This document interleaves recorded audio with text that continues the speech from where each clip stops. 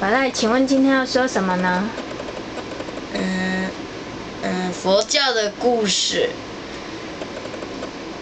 不要失去自己的平常心。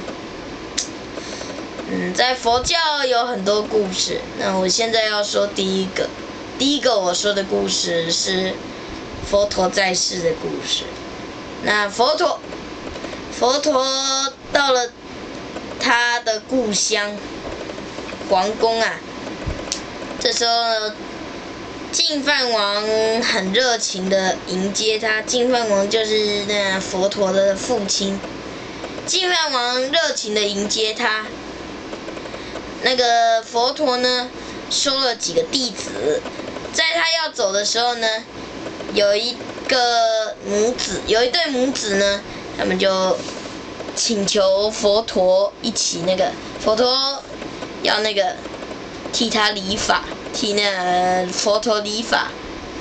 那这个小孩就是优婆离，嗯，那这个母亲就是理发师。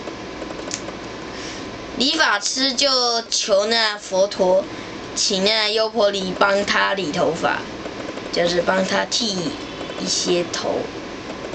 那么优婆离呢，他就操刀要去那理头发。这时候呢，佛陀就给了一个，佛陀就说：“嗯，姿势好像太弯曲了一些。”优婆离立刻把姿势给伸直，嗯，这次似乎又太僵硬了。这时候呢，优婆离只好一直来配合那样佛陀的办法，结果弄到自己都快要不知道自己该怎么办了。佛陀就说：“嗯，这就是你的缺点。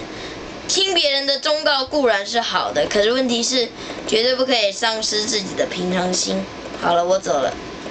那至于佛陀有没有理头发这件事情，有点不知道。可是问题是呢，佛教的故事比较不太注意，不太在意那个以后的事情，就是要把要把那意思给说出来就 OK 了。那好，OK。